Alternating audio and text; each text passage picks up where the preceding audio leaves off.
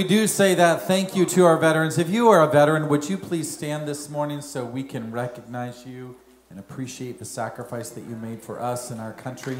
Thank you so much. God bless you. We're grateful to have you here. We're grateful for your sacrifice and also for the sacrifice of our great God and His Son, Jesus Christ, who puts a new song in our heart this morning.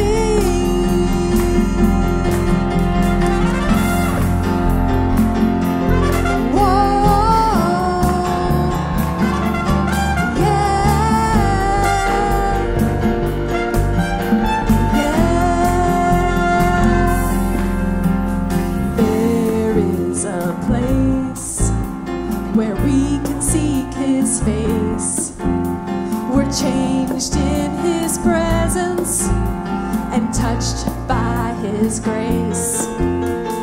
There is a sound, I hear it all around.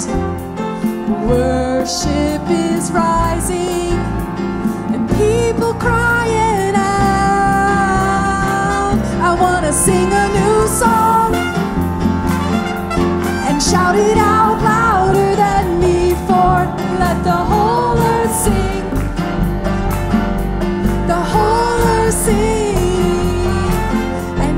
song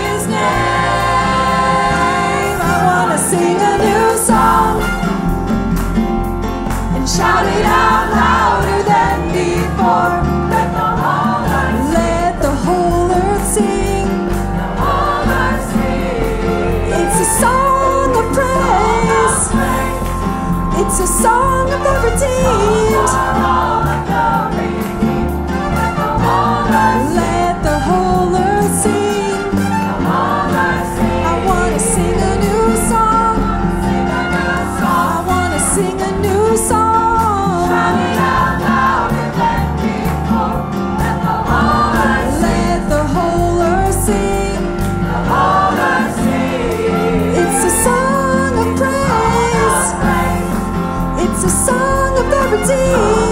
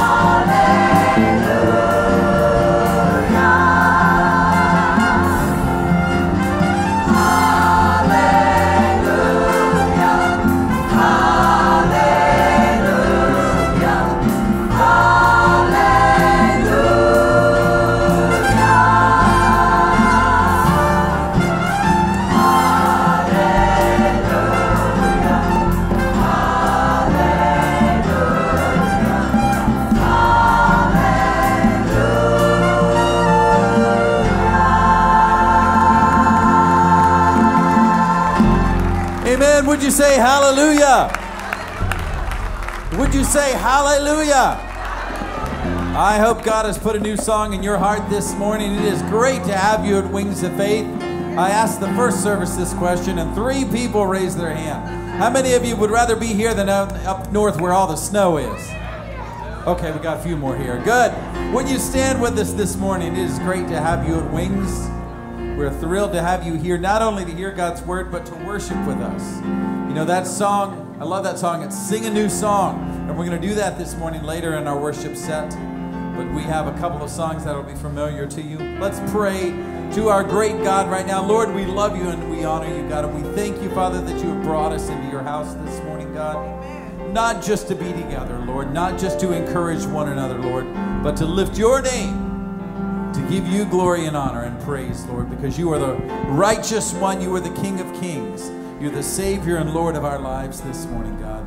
We thank you, Lord, that your amazing grace, Father, makes the difference for each of us, God. It saves us, it renews us, it fills us, God, and it gives us hope for tomorrow, God. We bless your name this morning. In Jesus' name we pray. Everyone says, Amen. Let's worship him together.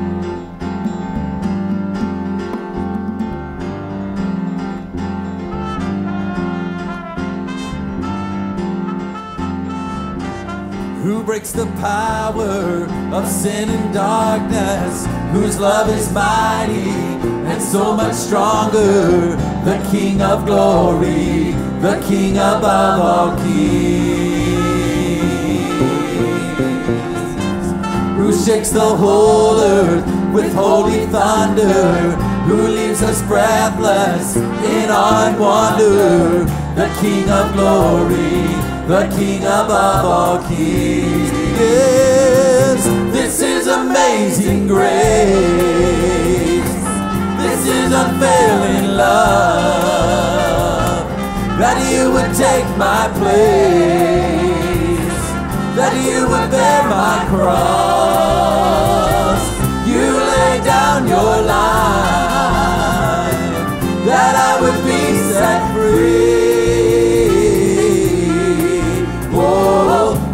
I sing for all that you've done for me.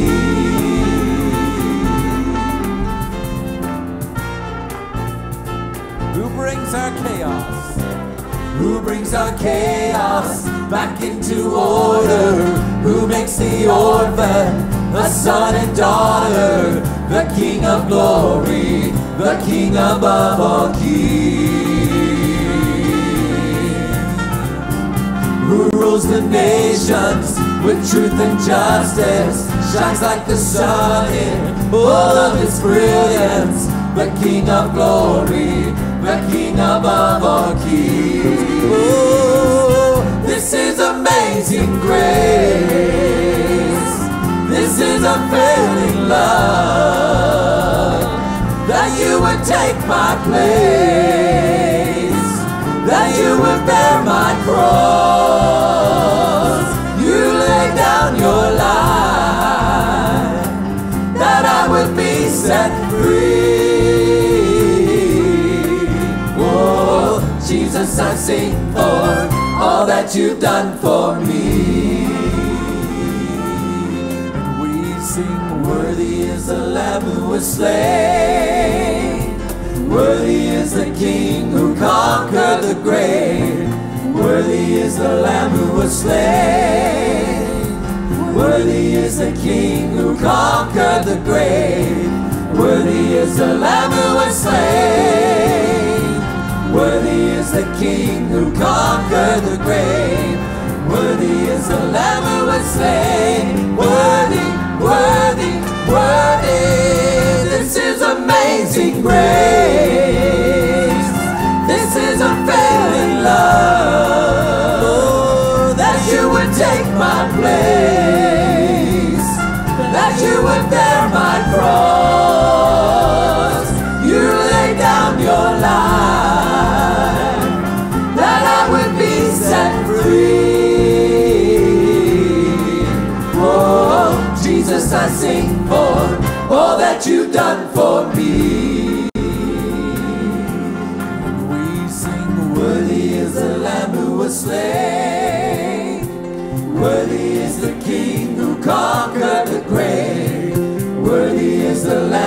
Slain.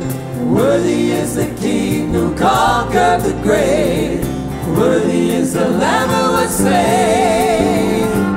Worthy is the King who conquered the grave. Worthy is the Lamb who was slain. Worthy, worthy, worthy. Oh, this is amazing grace. This is unfailing love. Take my place. That you would bear my cross. You laid down your life. That I would be set free. Oh, Jesus, I sing for all that you've done for me. Sing that last line. Oh, Jesus, I sing for all that you've done for me. One more time this morning. Oh, Jesus, I sing for all that you've done for me. If you're grateful for what he's done, would you give him praises this morning?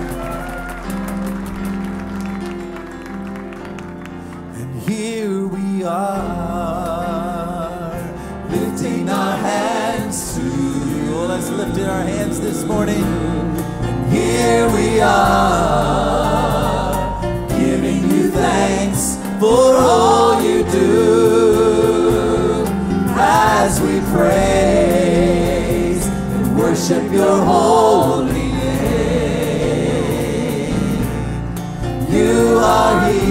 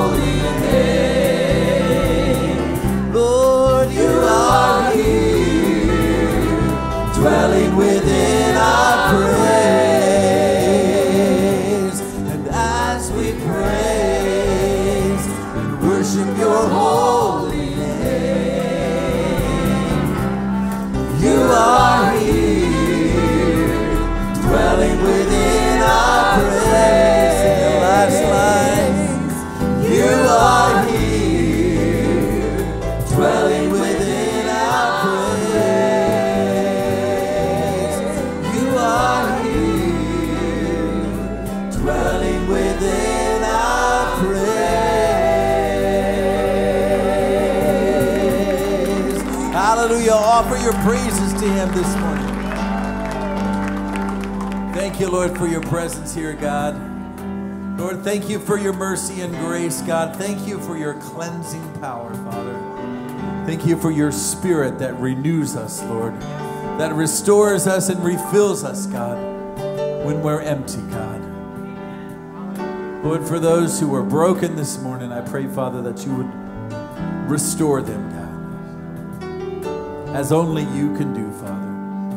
For those who are hurting this morning, God, I pray, Father, you would pro- provide the healing that they seek, Father. Lord, for those who are wayward and not sure what to do, God, give them direction. Lord, for those who are simply empty and longing, Father, fill them up with your graciousness and your mercy, Father. Use us, God, as you can, can this morning, Father. May we be willing vessels for what you want to accomplish, Lord. Use us and restore us, God. Rejuvenate our spirits this morning, God.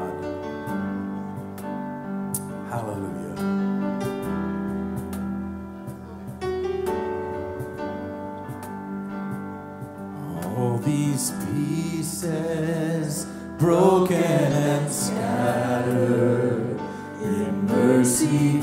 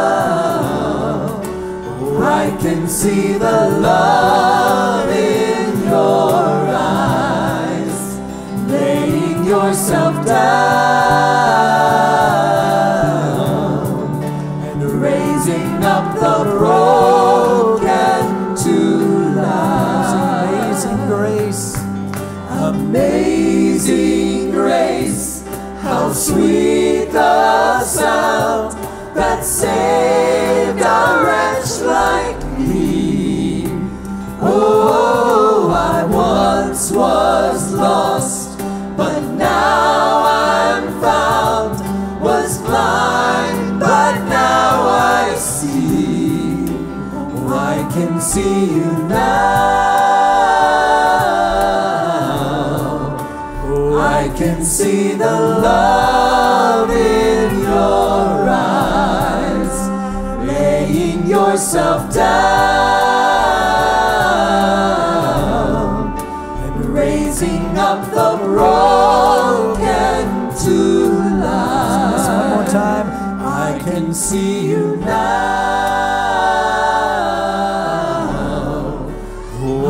can see the love.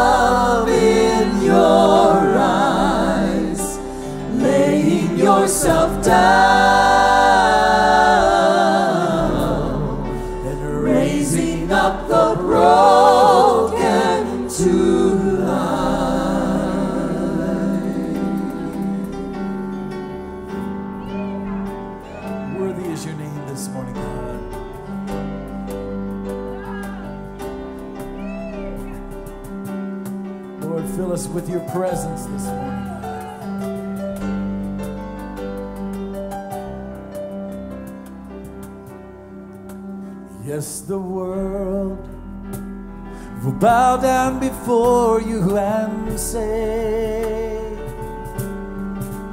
Every man will bow down and say, You are king.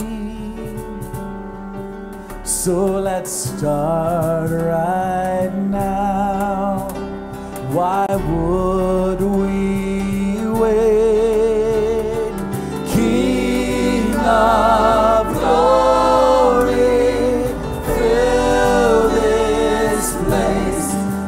just want to be with you. I just want to be with you. King of glory, fill this place. I just want to be with you. I just want to be with you. Yes, the world will bow down and say you are God. Every man will bow down and say you are King.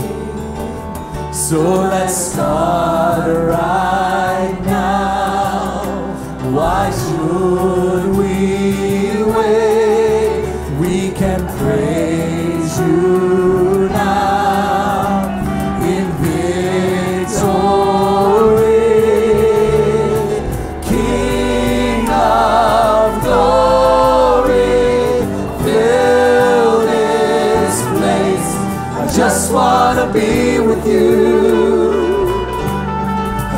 just want to be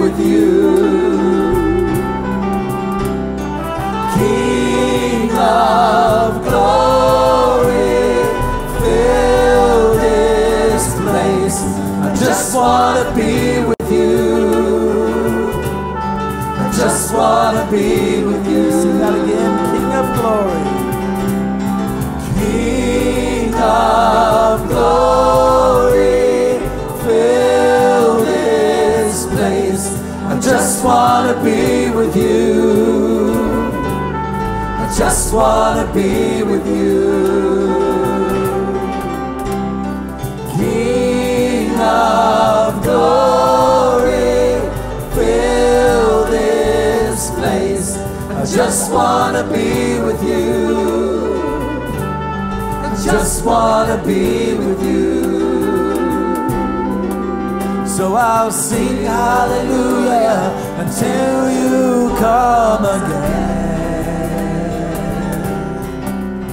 And I'll dance in your presence until you come again.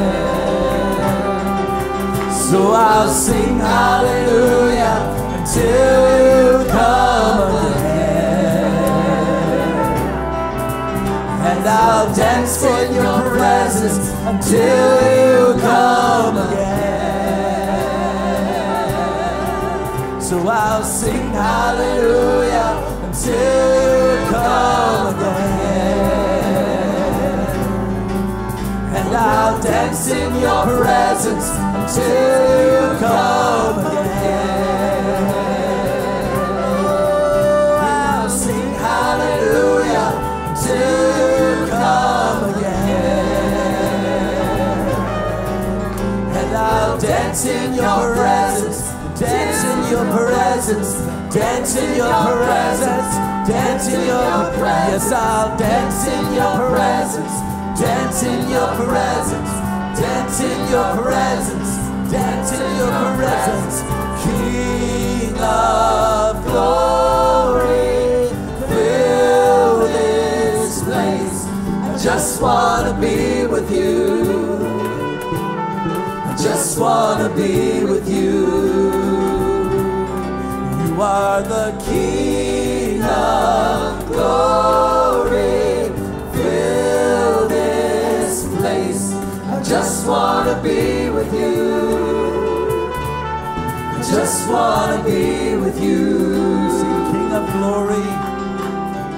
King of glory, fill this place. I just want to be with you.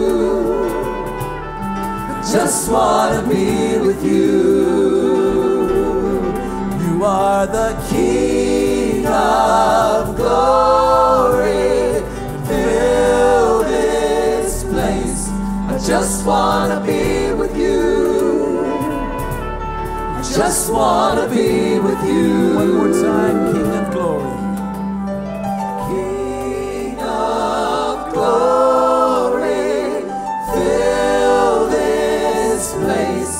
just wanna be with you. I just wanna be with you. King of glory, fill this place. I just wanna be with you. I just wanna be with you. I just want, I just wanna be with you. I just wanna be with you.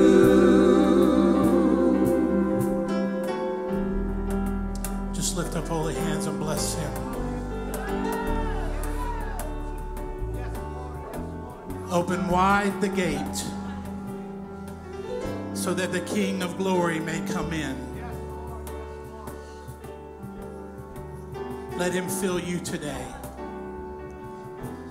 You are the temple of the Holy Spirit, and he can fill you today. Let that be your heart's desire. Let that be your heart's cry. Just to sing out to Him. King of glory, fill this place. I just wanna be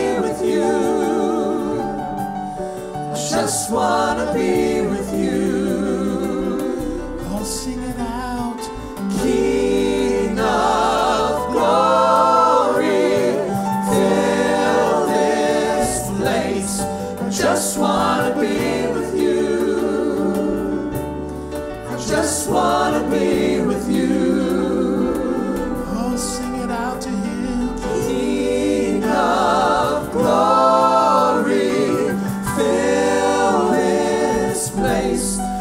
I just wanna be with you. I just wanna be with you. Oh, King of glory. King of glory, fill this place. I just wanna be with you. I just wanna be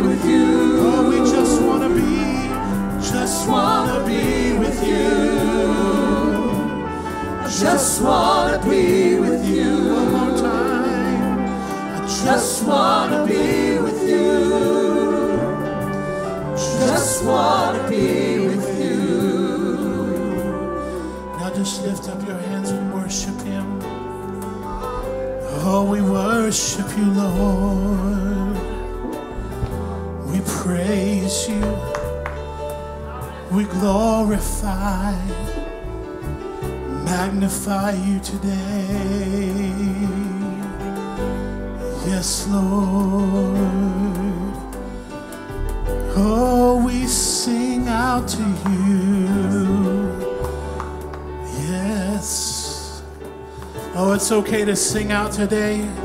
Come on, sing out today in your own way. Yes, Lord.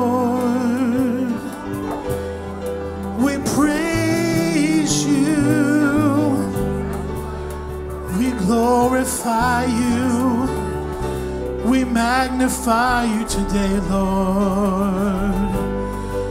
Yes, Lord, we love you. Oh, we need you in this place today. Yes, we do.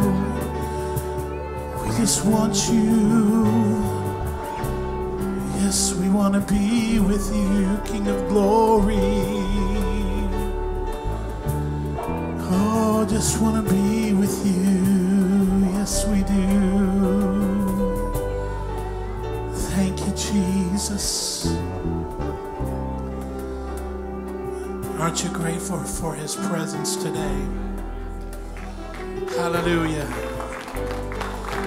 Hallelujah. Hallelujah. Hallelujah. He's here today. He's here to fellowship with us, to meet us in a powerful way. And I want to share this scripture with you. It's a very familiar scripture. Then we're going to go into a time of prayer. Jeremiah 29 11, the prophet Jeremiah is writing a letter to the exiles here. And this whole chapter is just an awesome encouragement from the Lord that he's sharing here. But in the 11th verse, this is very familiar. It says, For I know the plans I have for you, declares the Lord. Plans to prosper you and not to harm you. Plans to give you a hope and a future. So we always have hope today. We always have a future because the Lord has plans for us. The Bible says that the steps of a good and righteous man and woman are ordered by the Lord. But I want to go on and continue here because it just gets better. Verse 12 says, Then you will call on me and come and pray to me, and I will listen to you. Verse 13 says, You will seek me and find me. When you seek me with all your heart, the first part of verse 14 says, I will be found by you. He's here today. See, we've been worshiping, we've been welcoming Him to come, to touch, and to move in this place. He's here. Look at your neighbor and say, He's here. He's here. What is He here to do today? He's here to touch you today.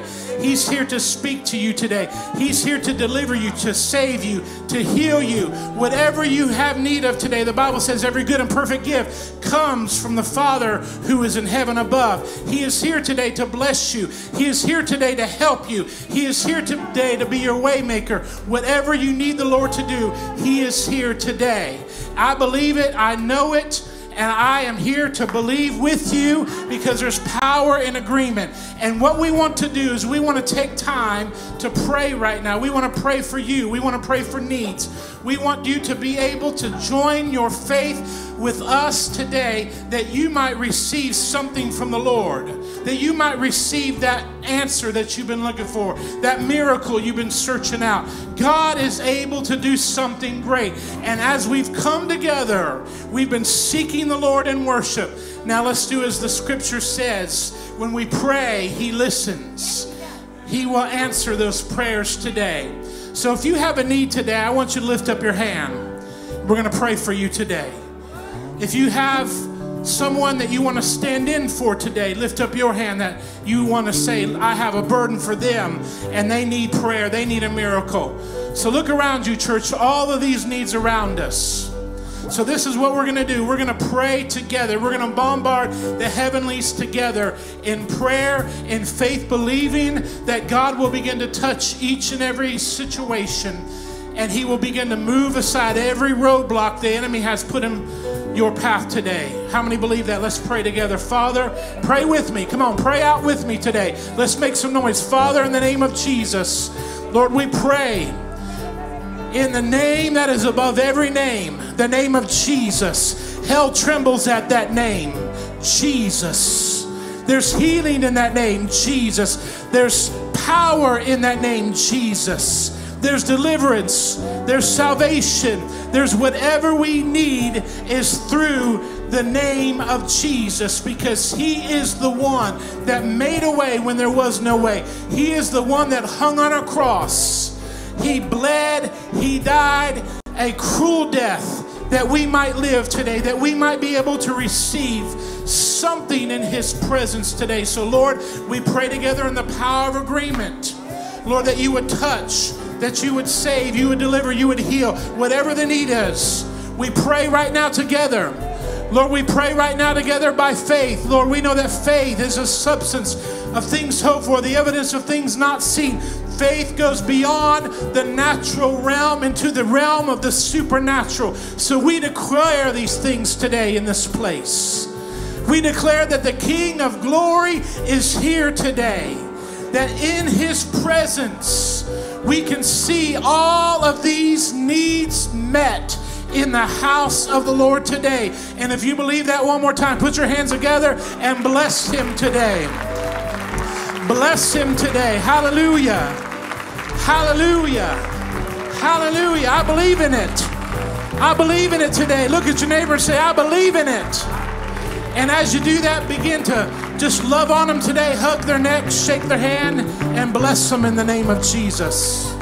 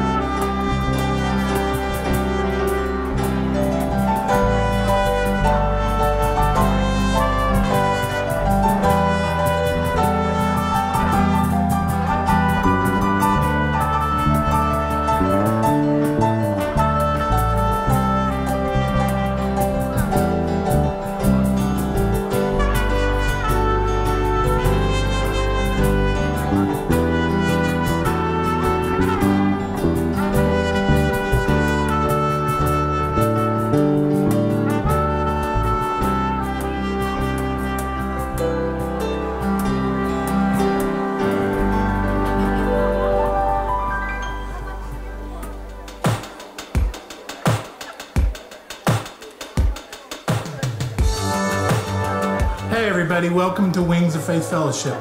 We are a church that loves God and loves people, and that means that you are welcome here. Please take this opportunity to pass down the attendance books. And if you're a first time guest with us today, look for one of those white connection cards, fill it out, bring it to the Welcome Center after church, and we'll answer any questions that you may have. And as a bonus, we have a free gift for you there. Today is Global Outreach Sunday. We want to thank you for your consistent financial and prayerful support of our missions ministry, not only here in Ocala, but around the world. Today, get one of those Global Outreach envelopes in your bulletin and put it in the offering, and this will help us continue to do what we're doing. Today is the deadline for our Operation Christmas Child Shoebox project. So please make sure you turn those in today so we can send them out to bless the lives of children worldwide. Make your plans to attend our annual churchwide celebration for the Thanksgiving holiday. Roasted turkey will be provided for this meal. However, we ask each one of you to bring two generous dishes to share with your family and the church families. Everyone is invited to this festive event. So come celebrate the Thanksgiving season with us as a church. And I also hope that there's some pecan pie. For more information about how you can connect, grow, and serve with us, please visit wingsoffaith.com.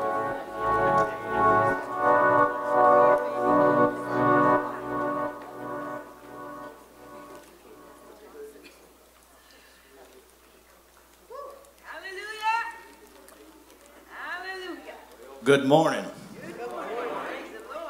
I, I believe we forgot to pay the light bill. It's a miracle. Let there be lights, what I should have said. See, and you'd have thought I was a prophet this morning. Hey, uh, let me see those hands again. Uh, how many veterans do we have in the crowd today? Any, any veterans? Yeah, yes, yes, yes. You know, it's a strange thing. I, I spent 11 years in the National Guard, and uh, I just never felt like a veteran. You know, I had a brother that got shot up real bad in Vietnam, got the Purple Heart, and you know was in battle and all this stuff. And I've never, I've never been, uh, you know, into another country and, and fought or had to really put my life on the line. So, you know, every time I hear a, a word veteran, I think, well, I'm not, I'm not sure I'm even be worthy to be called that. But I was thinking about that this morning, being Veterans Day and all, and and the Lord just spoke to my heart and said, You know what, son? You are a veteran. And he said, You, you know, this, this fact of, of going to another uh, country and putting your life on the line or making yourself available or being, being ready to do something for the kingdom, uh, you are a full blown veteran. And I, and I think we got veterans right here in this congregation. Uh, if you've ever been at, uh, on a mission trip to another country of any type, let me see your hand. Oh, look at here, look at here. This is what I'm talking about right here. So I want you to I want you to get a grasp of that today. It's uh, you know as we look into for a moment here uh, into our our global outreach that we've been doing, what what God has used us all for, and how He has uh, we've made ourselves available, and He's done some awesome stuff. Uh, Pastor Rocky in the first service, and I'm sure he'll talk about it uh, today. He was talking about the body of Christ, you know, and he, we read scripture about you know the ear and the uh, uh, you know, the eyes and the, the, the feet. And you know, I was thinking as we was reading that, Pastor Rocky, you know, the big toe is the ugliest thing I've ever seen in my life. If you just, if you'll just take your shoes off when you get home and prop it up and start t- staring at your big toe, it ain't a sexy thing. I can tell you that right now, right? And I was thinking, I was thinking about that, and I'm like, but you know what? I read one time an article. Without your big toe is your uh, basic balance on your body. You lose your big toes, you don't have balance. You just start falling around and tripping and all this stuff. So, as ugly as it is, it is uh, very profitable. So what I got, what am I saying here? As ugly as you are, you are very profitable to the kingdom. So don't don't feel like you're nobody this morning. Uh, I don't know where that came from, but I had I had to gouge you just a little bit. But I want us to look, uh, look at a couple of things. We just celebrated about three weeks ago, three or four weeks ago, we celebrated uh, our 20th year of ministry uh, in Cuba. It was right when we started building this building here, we started uh, doing ministry over there. And uh, we were over, we met in three different parts of the country, and uh, we had over 1,400 of our leaders that came together uh, to be uh, recognized and to be uh, just to worship and to just to praise His name. This is this is one of our services that we had here. Let's look on here a little bit. We went to three different locations. This was outdoor. You can't tell it's kind of dark, and that was uh, our third one. But run that back to that second one there, if you would. I want to I want to tell you, I had a, an amazing thing to happen to me. I was I was in the uh, little pastor's house that was sitting right next to it, and we were having the service outside, and they were all went all the way back out into the street, had those big old speakers cranked up, and these people were just worshiping the Lord and unintimidated is what I want you to understand, because the word on the street uh, right now over there to all the pastors that there's a lot of extra persecution that's coming down because of all the Venezuela uh, conflict that's going on, and and the preachers are just having to kind of back off when they're preaching, and, and so we're outside. And, and, and, and by the way, these are four hour services, you know, start at 8 o'clock and just run wide open, you know, to, uh, for four hours. So, I mean, we're just, just getting it for four hours straight.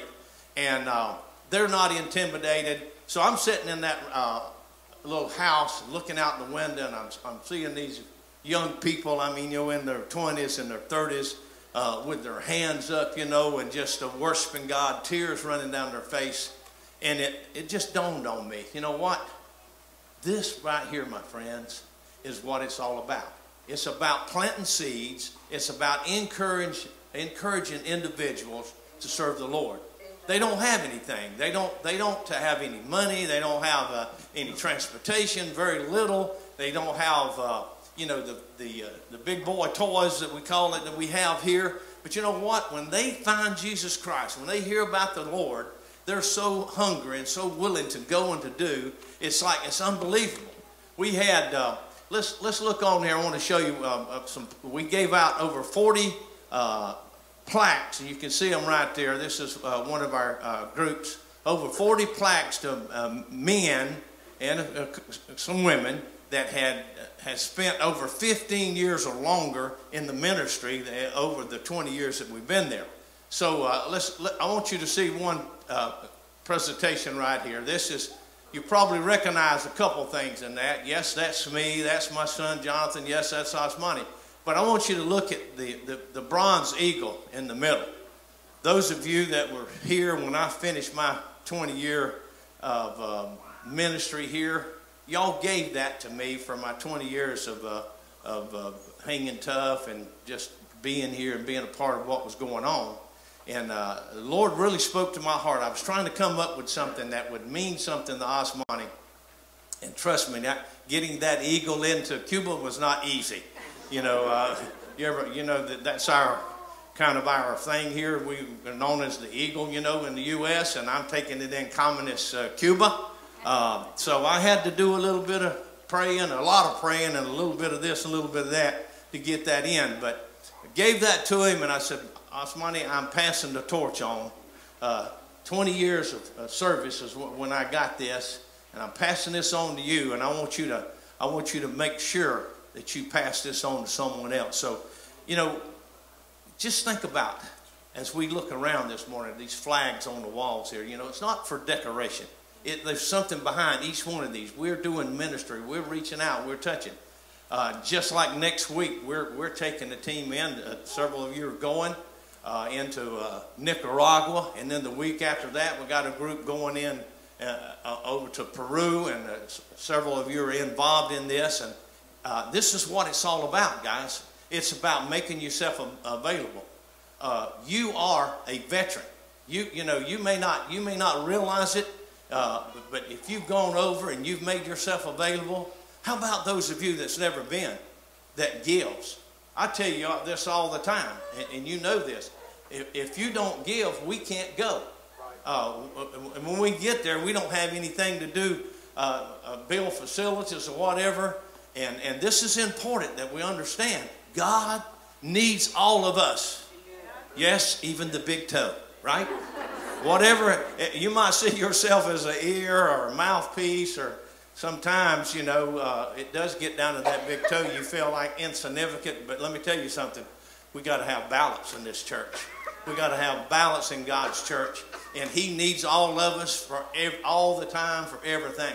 So, as we look at what God's doing and what He's how He's ministered in, in with, with, with Cuba for 20 years, I, I can remember the first time I went over there, it was like, God, why am I even here?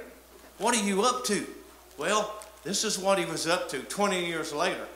We see over 1,400 leaders. We're working with 26 different denominations over there and hundreds of pastors across the deal. And we've trained hundreds of uh, uh, husband and wives to go out and evangelize I'm, I'm not talking about gave him a, you know a, a pop quiz for one day. I'm talking about a year and a half to two years of uh, teaching and training and educating and prepping himself to go out and make a difference in the kingdom.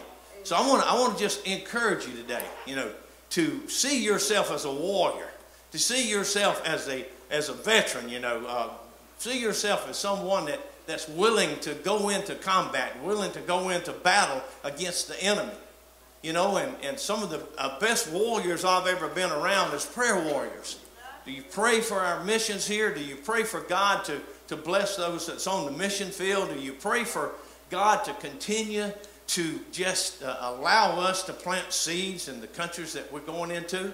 You know, it's crazy. And it, right in these conferences here, uh, Pastor Rocky, we had five different countries that was involved.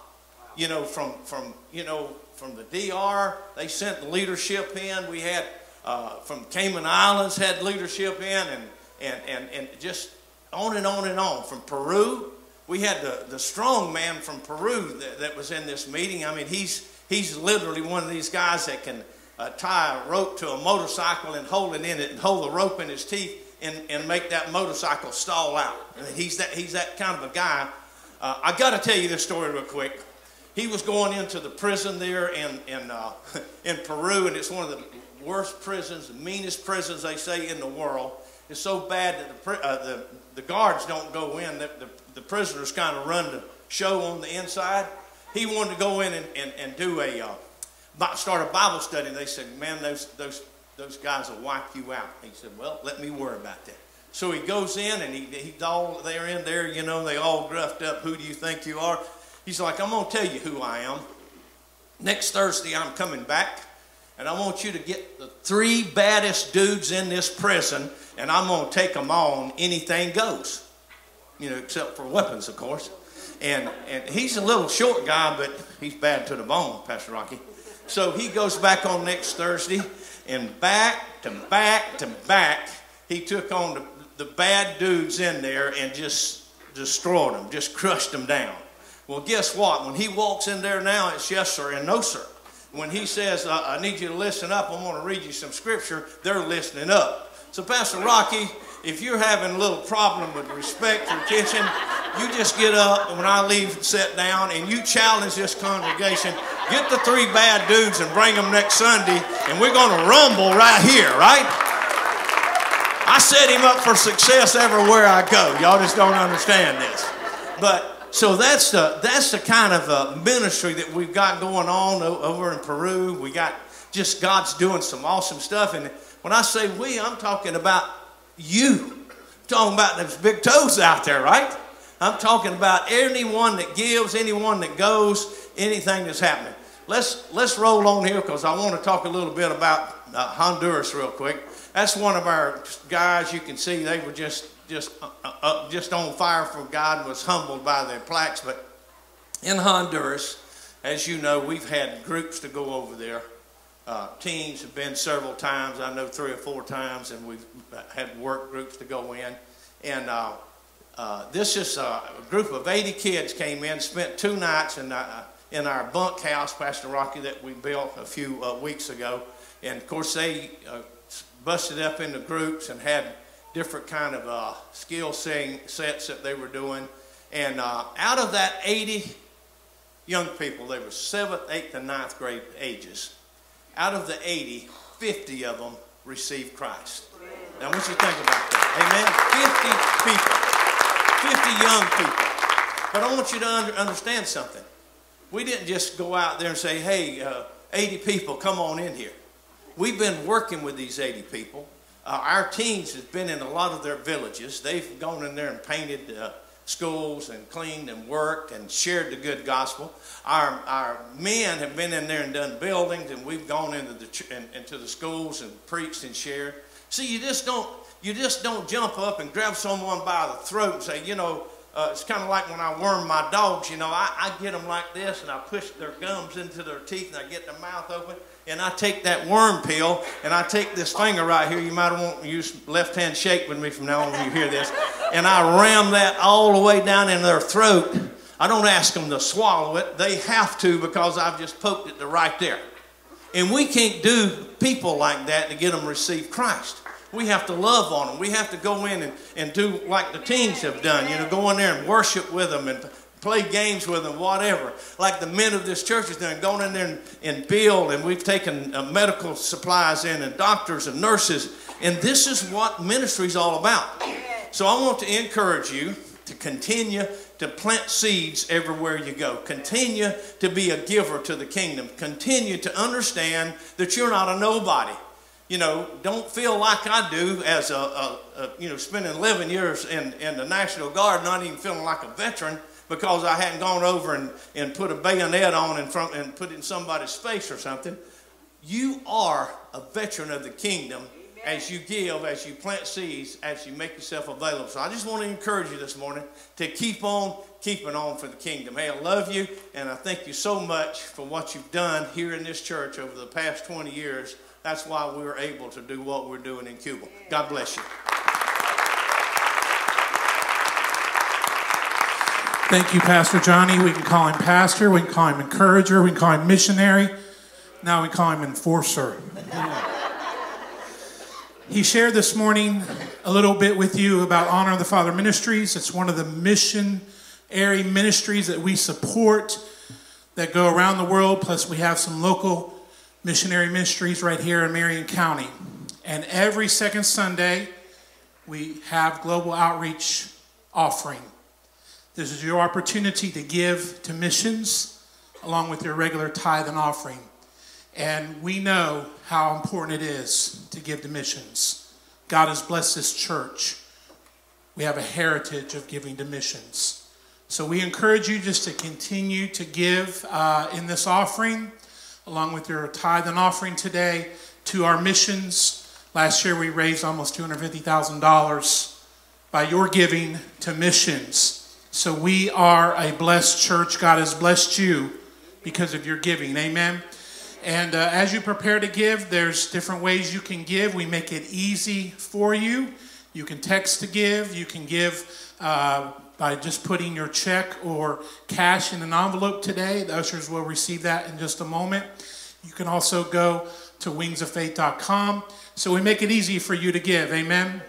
So let's just bless the Lord today with our giving. Let's pray over this time of giving that God will bless it multiply it, and use it for His glory, not only here in Ocala, but around the world. Amen. Father, we thank you today. We thank you for many, many blessings that you've already blessed us with. But Lord, as you blessed us, Lord, out of that blessing, we're going to give something back to you, Lord, uh, that portion, Lord, that we know that we give. We give our tithe, we give our offering, and we give our missions offering as well. Lord, we pray today, God, that you will use what we give to continue to help us to build the kingdom of God.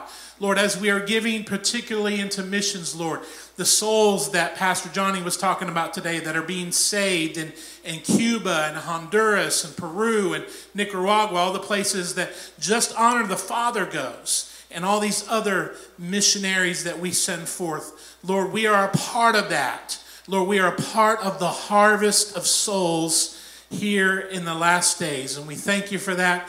Pray that you bless the gift and the giver today in Jesus' name. And everyone said, Amen.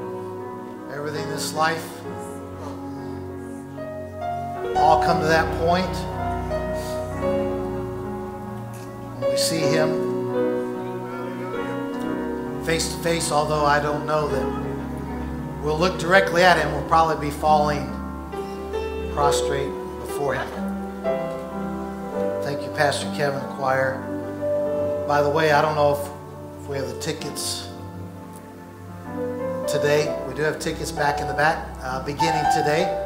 But two things. One, the church's annual uh, Christmas dinner theater uh, tickets are on sale. But also, you know, for a number of years, our choir has, at Christmas time, taken their Christmas presentation outside to the city park, uh, to the citizens circle, I think maybe one year, or the uh, downtown courtyard. But um, we're oftentimes getting hindered because of the weather. And uh, so this year we decided to step it up a notch. And so we have rented the Riley Arts Center uh, on Wednesday and Thursday, uh, December 18th and 19th. And our choir and orchestra, we're going to have uh, about a 50 piece choir and orchestra, and they're going to be sharing the Christmas message uh, in song. It's going to be a free event. We're going to have, we have about 2,000 tickets that we've printed. Uh, we'd like for you to take them begin to share them with family, friends, co-workers. Just invite them out to a great night of Christmas music.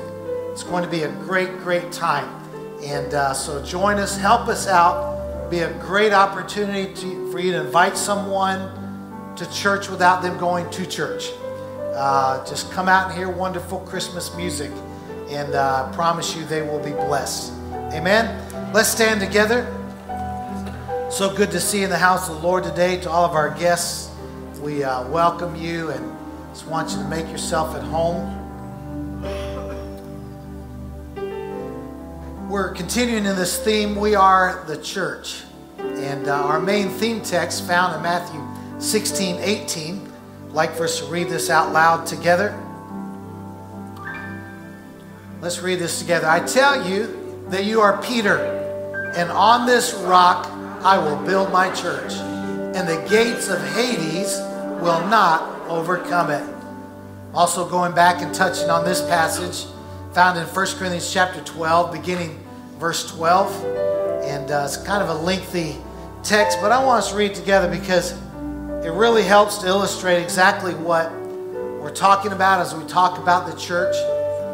So 1 Corinthians chapter 12, beginning at verse 12 here, 15 verses we're going to read. Let's read this together. Just as a body, the one has many parts, but all its many parts form one body. So it is with Christ. For we were all baptized by one Spirit, so as to form one body, whether Jews or Gentiles, slave or free. We were all given the one Spirit to drink. Even so, the body is not made up of one part, but of many. Now, if the foot should say, Because I'm not a hand, I do not belong to the body, it would not for that reason stop being part of the body. And if the ear should say, Because I'm not an eye, I do not belong to the body, it would not for that reason stop being part of the body. If the whole body were an eye, where would the sense of hearing be? If the whole body were an ear, where would the sense of smell be? But in fact, God has placed the parts in the body, every one of them, just as He wanted them to be. If they were all one part, where would the body be? As it is, there are many parts, but one body. The eye cannot say to the hand, I don't need you. The head cannot say to the feet, I don't need you. On the contrary, those parts of the body that seem to be weaker are indispensable. The parts that we think are less honorable, we treat with special honor. The parts that are unpresentable are. Where did I lose it? Presentable are treated with special honor. All right. Modesty, pardon me.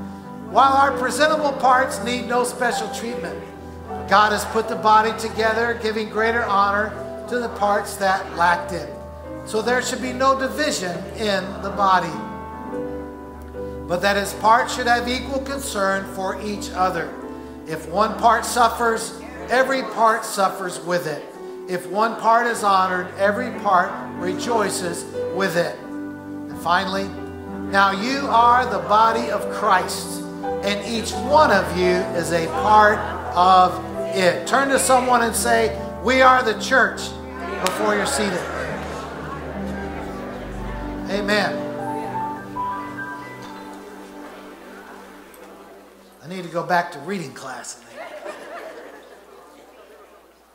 Amen. Anybody ever heard of Kanye West? Kanye? Kanye, Kanye. Kanye. Kanye West and his gospel choir made an appearance on the Late Late Show with James Corden. I didn't know there was a Late Late Show. Who stays up late enough to watch a Late Late Show? Anybody? Oh, yeah, our kids. Oh, some adults even in there. Wow.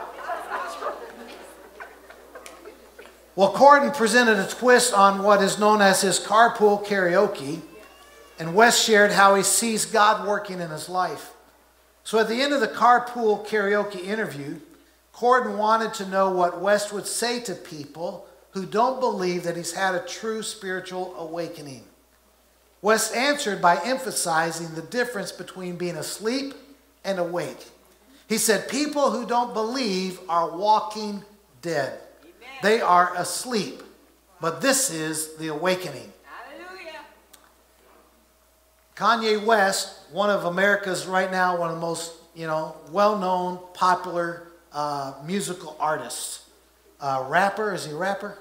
Never heard any of his music, so I, I don't know. But I know that he's very well known, and uh, and I also know a couple of weeks ago, Rebecca uh, shared with me a video. I think maybe somebody, maybe it had been posted uh, on Facebook.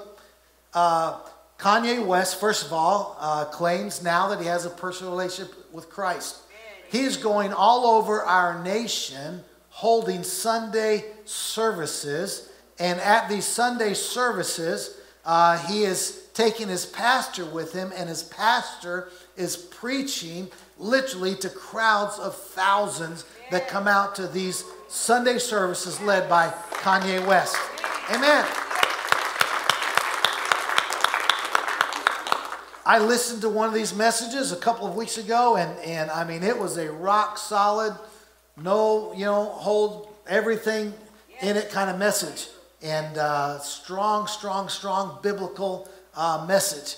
And, uh, you know, some would say, well, let's just see how long it lasts. You know, has he really had a genuine conversion uh, experience? Uh, or will he go back to his old ways? I did hear him uh, in an interview this past week where Kanye West, evidently his latest album, uh, album, album, al- album that he that he's created, um, is called Jesus is King. Is that right?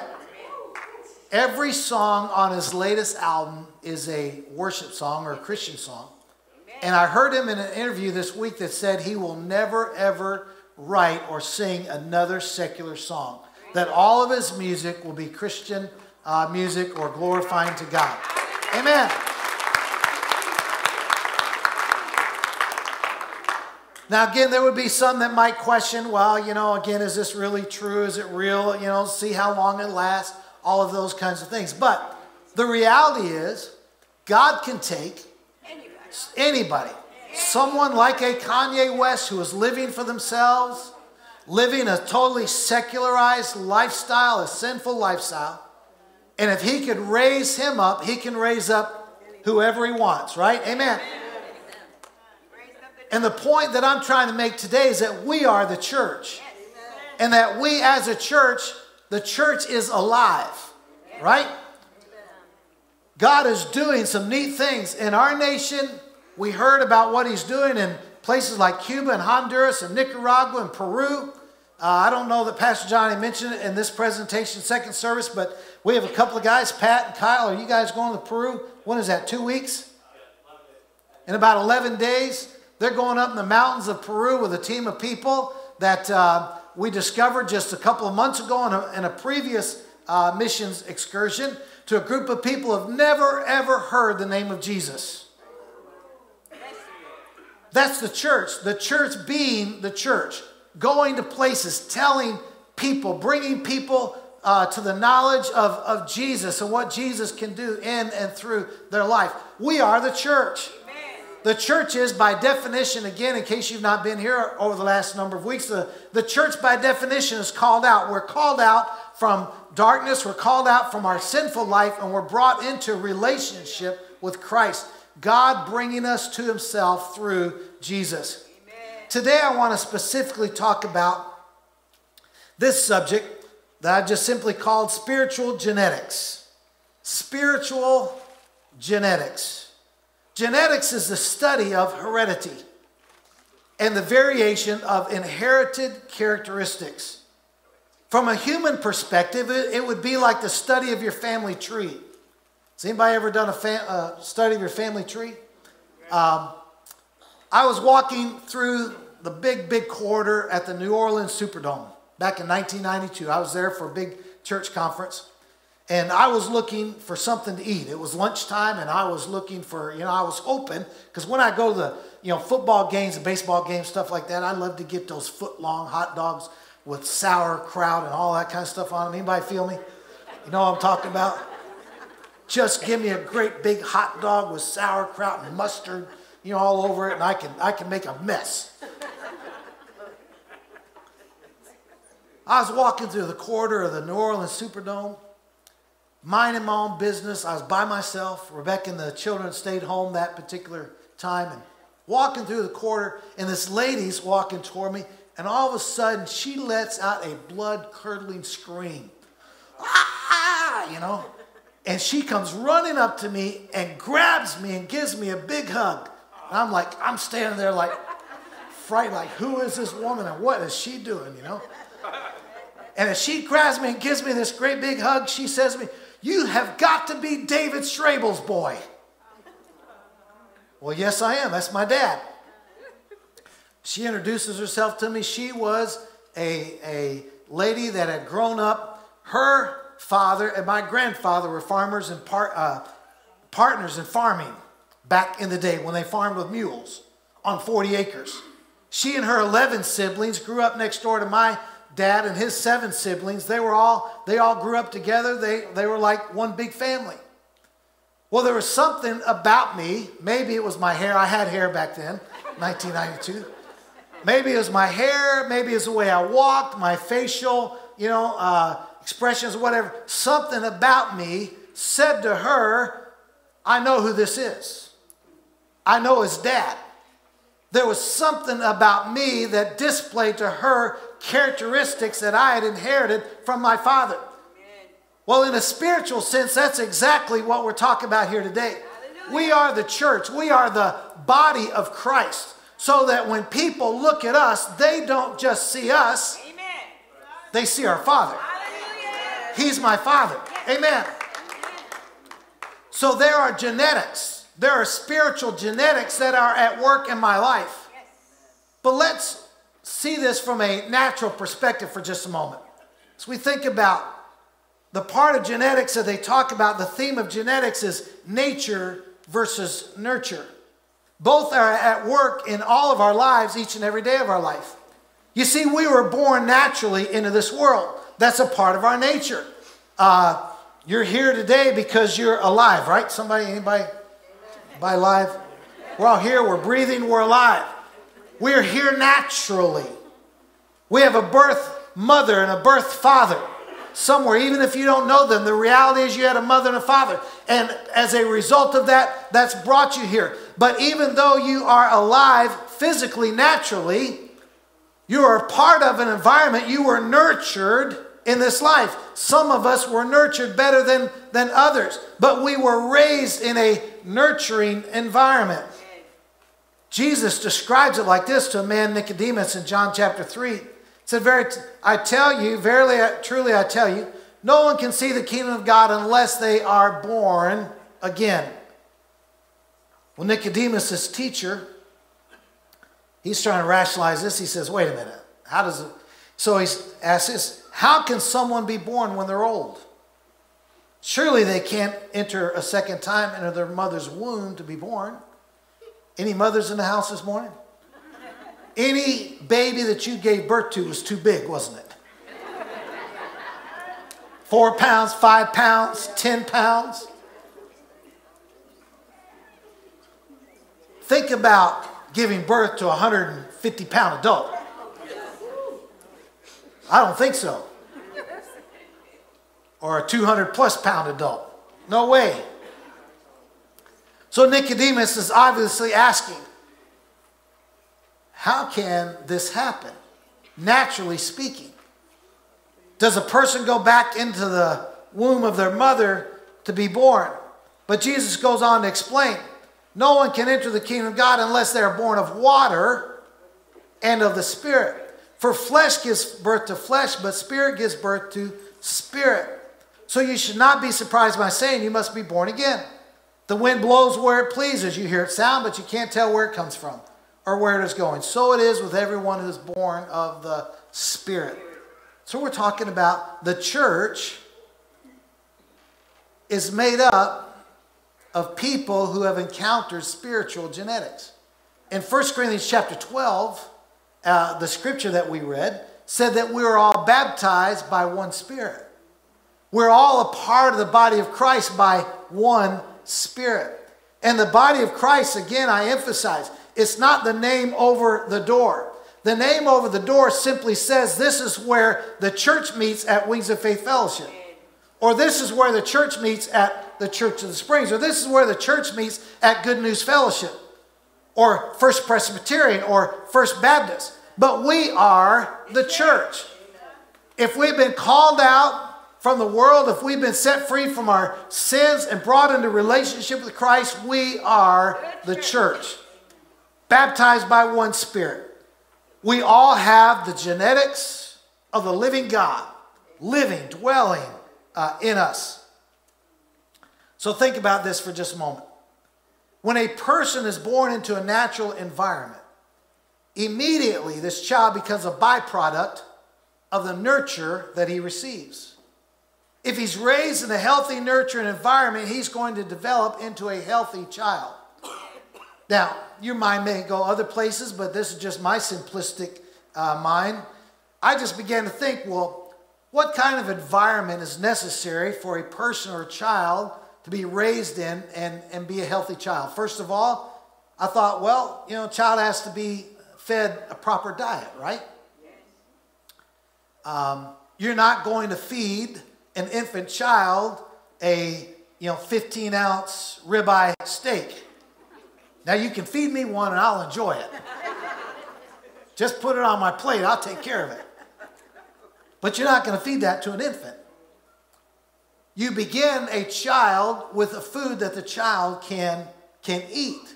Starts with a, the mother's you know, milk, and then it goes on to you know baby cereal, and then you're beginning to open baby jars and, and giving it vegetables and, and different things until you grow it up to a point. But the, the reality is, again, you're feeding this baby a, a balanced diet, proper food. Another thing that's very important for a child uh, is rest. You know, uh, I remember when our children were small that uh, they would sleep about, you know, 12 hours a day. Not all at one time, unfortunately, but, uh, you know, uh, smaller children need more rest. Well, we're still told that, that we have to have a certain amount of rest in order uh, for us to maintain a healthy, uh, you know, physical well-being. So, but rest, rest was important. Physical touch was important. Social interaction, education, financial well-being. Well, the environment that a child is nurtured in then leads it to all these different experiences. So, for example, when a child is, is eating, it's, it's one thing just for a child to be fed, it's another thing for that child to experience eating, say, as a family. Does anybody remember sitting down as a family and eating together? I want to tell you, if you're young families today, you need to make that a priority. In too many families today, children just go to the refrigerator, get what they want to eat, and, and go on their way. Families aren't spending enough time around the dinner table. Well, what happens when you're eating together, you're fellowshipping together, you're talking to one another, um, you know, you're finding out what's going on in one another's lives, uh, you're making family plans together. But when you just eat and you scatter, I, I've known families that you know they'll get their meal and they just sit down in front of the television and, and eat their food. Maybe they're together in the same room while the television's going. That's not healthy. As a family you need to sit down as as a family and eat together. There's a lot that takes place and it promotes a healthy nurturing environment and experience for your family. Consistent sleep patterns I've known children and adults, and I found myself doing this more than once, unfortunately, in, in my, especially in, in our empty nest, uh, you know, times now that Rebecca and I are enjoying, but, you know, fall asleep watching TV at night. I do that. You know, I conk out about, I don't know, 9 o'clock, and then I wake up about 11 o'clock and go climb into bed. But in truth, as a family, it's not good, uh, you know, to, to just sit there and, you know, watch TV until late at night and mess up your sleep patterns. Uh, in my house, when I was growing up, my parents made a big deal about this. uh, at a certain time at night, the lights went out. When the lights went out, you're expected to be in bed. And um, even as I grew up to be a teenager and, and had my own automobile and could come and go, you know, a lot and was gaining in my independence, there was a time where the front door was locked, the lights were out, and you better be there or else. And uh, one time I missed it by 10 minutes. My parents were very strict. I paid the price for those 10 minutes. And um, I'll never forget the night I graduated from high school. I was 18 years old. I thought, man, I'm a big shot now. I'm about to, you know, leave. I'm going on my own. And I decided I'm staying out till midnight. Well, lights were out at my house at 11 o'clock to give you a time frame. And uh, I come sneaking in the basement door. My mom was waiting on me. Those of you that know my short little five foot mother. And uh, she didn't care that I had two friends with me. She let me know that's not what we do at our house, in no uncertain terms. Physical touch, every family, nurture an environment for a person. You know, families are different. Some are more touchy feely than others, but there needs to be a certain amount of physical touch. There needs to be a certain amount of social interaction that can be accomplished through education, common interest, sports, so forth, so on. I watched uh, the other day a, a video of an eighth grade girl that won a National Science Award. She came up with this idea, this creative camera that was on like the outside of where the bar goes down from your windshield to the main body of your car. Anybody else see this? This young girl, 14 years of age, came up with this idea of this blind spot, a camera on the bridge that goes down from the roof of the car to the body of the car, camera on the outside that then reflected over to the driver's side, back across, and presented the picture so that you could see in real time what was going outside, what was going on outside of your car where that um, uh, bridge comes down. 14 year old girl came up with that. And when they were interviewing her, what did she do? She began to talk about her family. And I listened to that and I thought, that is exactly what I think of when I think of a person that's raised in a healthy, nurturing environment. A 14 year old girl that's neglected, left to herself, not given attention to, not having proper social interaction, not having good education, not getting good rest, not getting, you know, all of these things that I've been talking about, is not going to be able to function in that kind of capacity. Do you get what I'm saying? Well, just as we think about these things from a natural perspective, all these things are also true spiritually. It's time for us to open our eyes and connect the dots. We are the church. We have a spiritual genetic makeup.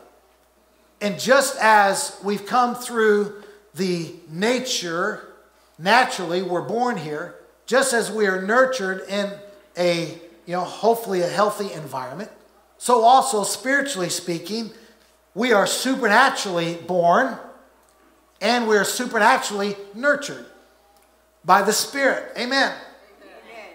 So, we need a balanced diet as the church, not focusing on physical food, but, but spiritual food, spiritual disciplines. Amen. It is improper for you as a believer to neglect taking care of, your, of yourself as a believer. You need the study of the Word, the reading of the Word. You need prayer. You need fasting. Uh, you need solitude. You need these things as a part of your spiritual existence if you're going to have a balanced diet as a believer. Can't tell how many times through the years as a, as a pastor I've heard people say, oh, I, you know, I don't like, you know, I don't get into that prayer thing or, or I don't get into that fasting thing or I don't get into this or I don't get into that. I can look at that person and I can know right away that's not a strong, healthy believer. Because they don't have a strong, healthy diet. Amen. Just being honest, that's good preaching, Pastor. Thank you. As believers, we need rest. Jesus entered into periods of rest. We need physical rest, we need spiritual rest. Solitude is a very spiritual experience. Jesus went to the mountaintop to pray. Moses went into the wilderness. Jesus separated himself from the crowds, got in a boat, and went out into the lake. Why? To get away from the crowds for rest and for solitude. When you get to a place where you can just rest and you can decompress, all of us need this. It's a part of being the body, taking care of the body of Christ. We need solitude. I'll never forget when I, uh, one year I was out in the mountains of Colorado, uh, big game hunting. By the way, it's good to see uh, Ray and his wife Carmen here. These, everybody remember my son-in-law Caleb? We have Caleb's uncle and aunt that, that are here with us today. So good to have you with us in the house. Don't mean to embarrass you. I was out in the mountains of uh, Colorado, big game hunting, and um, I was sitting on the side of this cliff, dangling my feet over the edge of this cliff, several hundred feet down. I was, I was just, you know, the cliff went down, but I was looking out across the vast expanse of the wilderness there. And while sitting there, thinking about everything that I should be doing, I didn't have time to be out here in the middle of the wilderness. 43 miles off the main highway, back up in the middle of the mountains. Trying to get my first, you know, big elk. And um, just sitting there in my mind thinking all the things. I have service, two services to preach tomorrow. I've got this person maybe in the hot, you know, whatever. I mean, my mind is just going all of these things that, that I need to be doing. And I'm out here wasting my time in the middle of, of this wilderness. While sitting there, I felt very strongly. I know I've mentioned this before, but bears repeating. As I was sitting there, Holy Spirit spoke to me and said, Who should be enjoying this more but those that give me praise for it? Because those mountains, I promise you, were full of partiers. You go to any hunting camp and find plenty of people sucking down a beer and just having a good time. But here I was sitting on the side of that cliff and I just began to rejoice and worship the Lord all by myself. I could shout as loud as I want to shout because there wasn't anybody near me for who knows how far. We all need that solitude, rest. We all need physical touch. This is the reason why it's so important to be connected to a body. Those that say, well, I don't need to go to church to be a Christian, yes, you do. You need to be connected physically. The arm can't say to the body, I don't need you. The eye, the ear, the hand, the foot, as we read through this text. The body needs every distinguishable part because every part makes up the body. It's not, you know, uh, a bunch of amputated parts all functioning out there on your own. No, we're to be connected. Amen. Through our spiritual genetics, we need physical touch. I need you, you need me. Amen. It blesses me when I see you come through the, the doors of the church, every one of you. And I hope that when you come in here, you're blessed to see me. Pastor's got a sermon for us today. we need each other. Our social interaction, being connected together, where we fellowship, we break bread together. Yes. The early church, that's what they did. They met daily and they broke bread together. Amen. I told Brother Bruce, where's Brother Bruce at? Over sitting over his lovely wife Vicky, took me out to lunch the other day and and uh, told me get whatever you want on the menu, and I'm you know, was at Sonny's. Anybody like Sonny's? So I got me a rib plate. Enjoyed some good St. Louis dry rub ribs with hot sauce on it. I walked up to Bruce just a few minutes ago. I said, Man, I'm still in a hangover mood from those ribs the other day. But that's what I'm talking about being connected, social interaction, getting together with one another a, from a natural perspective, your family as a child growing up, and even today, you need social interaction. You need to, to connect with one another, socially speaking. The same thing is true as it relates to the body of Christ. We are the church, and coming together, gathering together, worshiping together makes us all understand what we need from one another in that social interaction. Thank you, Lord. My third final thought divine versus divisive. Divine versus divisive. You see, again, we're part, the our spiritual genetic makeup makes us all one in Christ, makes us all a part of one body, baptized by one Spirit, born by the Spirit of God. But look at what Paul writes here in 1 Corinthians 12, the latter part of the passage we read, verse 24. But God has put the body together, giving greater honor to the parts that lacked it, so that there should be no division in the body, but that its parts should have equal concern for each other. If one part suffers, every part suffers with it. If one part is honored, every part rejoices with it. Hallelujah. See, the reality, we are divine. Divinity lives in us. And should live through us. But if we're not very careful, if we don't honor even the slightest member of our body, Yes, yes. then we bring division. Anybody ever been a part of a church where there's division? Woo. Lord, help us, Lord Jesus. Churches have divided over the color of the carpet. There's been division over church because somebody was sitting in somebody else's seat. There's been division over the church because somebody likes this pastor more than that pastor. Or this worship leader more than that worship leader. Or, you know, I don't like that kind of music. I like that kind of music. And the list goes on. Amen. Anytime you see division among the body, what is really being stated is that you're not giving honor to the body.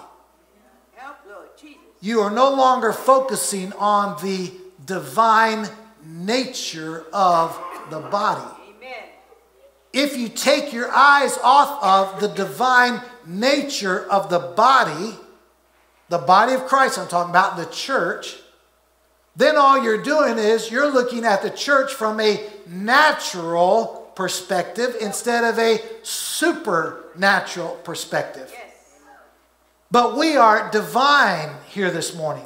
We are part of the body of Christ Hallelujah. baptized by one Spirit, the Spirit of God.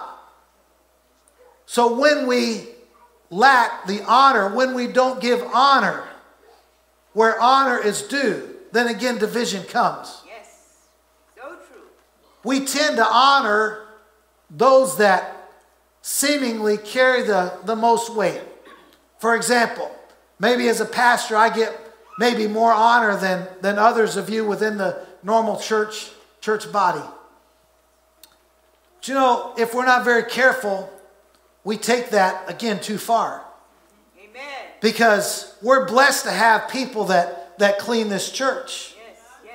week in and week out. Aren't you glad that when you come to church on Sundays that the chairs are lined up and the floors are clean and whatever trash you left by the way, stop leaving your trash in the in the pockets and the chairs in front of you. The gum wrappers and the leftover bulletins and, and whatever, candy wrappers and whatever. That's not what that's for. Pack it up and take it home with you. Or put it in the trash can in the lobby. Amen. But I'm blessed that we have, and we're blessed that we have people that come through and check that and clean that, and make sure all the cards are right, the envelopes are right, the chairs are straight, and the floors are clean. How many of you appreciate when you come to church and you walk in, you find nice, clean restrooms? Somebody cleans those toilets, somebody mops those floors. Now you don't think about that. You don't think about bringing those kind of people up on, on front, you know, the platform and, and recognizing them or giving honor to them. But that's exactly what God is saying. God gives honor to those who lack honor, to the smaller parts, because we tend to neglect those things. I was watching a football game with Rebecca last night. Her team is Clemson, uh, go Tigers, and uh, they put the whipping on North. I turned off at halftime. It was already like 45 to nothing. Uh, so, but just before halftime, the coach put in a deep, two defensive linemen, a tailback and a fullback. The tailback was a 330 pound defensive lineman. They were two yards out from the goal line. They put these two big boys in and they carried across the goal line. They scored the last touchdown of the first half. Anybody see that game? No Clemson fans in the house. All right, that's all right. We won't hold it against you. So Rebecca asks me, the why did the coach do that? I said he's honoring his players. Everybody's always making accolades and honoring the great quarterbacks, the great running backs, the guys that are scoring the points. But these big old linemen, they're down in the trenches. They're digging it out. If they weren't doing the blocking, if they weren't doing what their job was, then these great quarterbacks and great running backs would not be scoring those touchdowns. You understand what I'm saying? The same thing is true in the body of Christ. You may feel insignificant. You may feel like your $10 a month offering to missions is not significant. But let me tell you, when $10 is added to $20, is added to somebody else's $100 or somebody else's $1,000, when it all comes together, it meets the need. You may feel like, well, you know, I, I can't teach or I can't preach. But whatever you do, it's okay. Whatever you do, you do it unto the Lord. And the body is built up and the church is healthy. Amen. Last thing I'll share, Pastor Kevin to come. I was reading an article in Christianity Today. And the title of this article, very interesting. Of this article is Meet the Minnie Church. Meet the Minnie Church. Not mini as in M A N Y, but the mini M I N N I E. Anybody ever heard of mini? Minnie Mouse? Mickey Mouse and Minnie Mouse? I'd never thought of before, did not know existed, but there is a church at Disney World. There's a church that at Disney World that is called the Cast Member Church. There's a pastor at Disney World that left a lucrative pastoral position at one of the largest churches in our country. Said God called him to go to Disney World. Who ever thought of Disney World as a mission place? I certainly haven't. We took Caleb and Julie Ray and, and their little daughter Rayleigh just a few months ago when they were here visiting us. Spent a whole whole day at Disney World. Somebody walked by with a T-shirt uh, that basically said they spent more money than any other day in their life, and I'm like, I identify with that right there.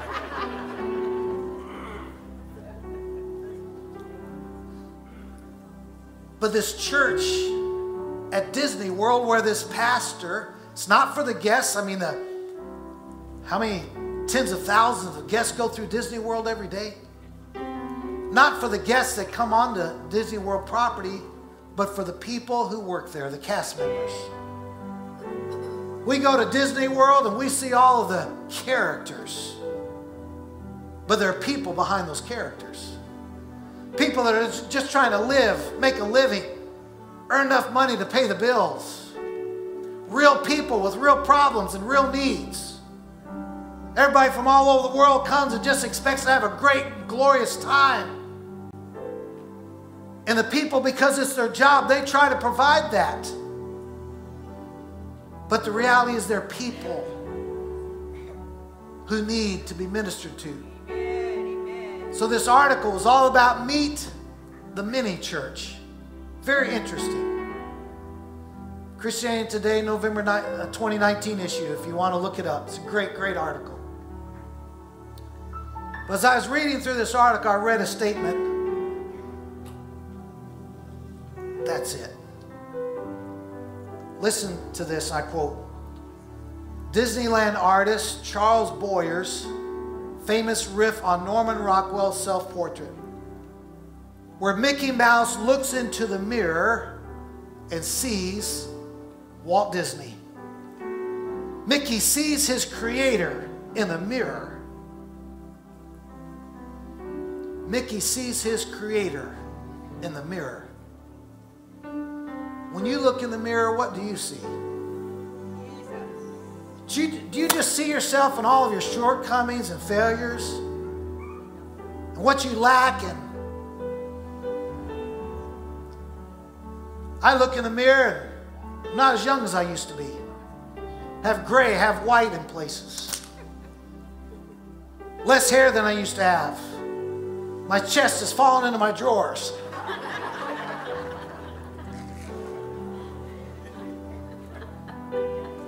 I look in the mirror from a physical place and I can see everything wrong. But what God is calling us to do is look in the mirror. When we look in the mirror, we need to see Him in us. We need to look beyond who we are and our shortcomings and failures and all that. We need to see what God is doing in us and what God is doing through us. We need to see that we have spiritual genetics at work in us, and God is trying to work and nurture us and develop us and help us to be the people that He wants us to be, living and moving and acting on His behalf, so that also others, when other people see us, they see past the natural, who I am, and they see Jesus in us. They see God being glorified in the things that we say and the things that we do. And what my heart is today in sharing this thought with you is that if we could just be the church, if we could just be the body, that nurtured body that God is trying to nurture and raise up, caring for one another, loving one another, being there for one another, every part being honored and cared for, then guess what? The world will beat the door down to come and be a part of something like that. Amen. Give God praise. Thank you, Lord.